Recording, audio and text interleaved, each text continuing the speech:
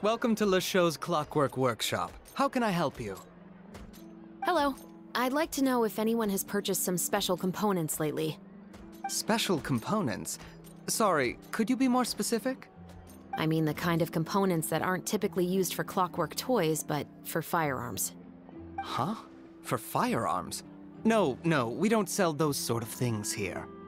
Don't misunderstand. I'm not here to cause any trouble. We are merely investigating a case, and we're hoping that you could cooperate.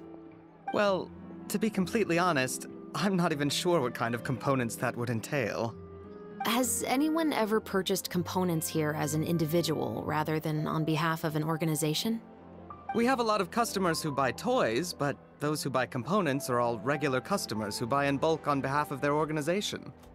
Hmm, is that so? I understand. Thank you for your cooperation. You're welcome. It's the least I can do.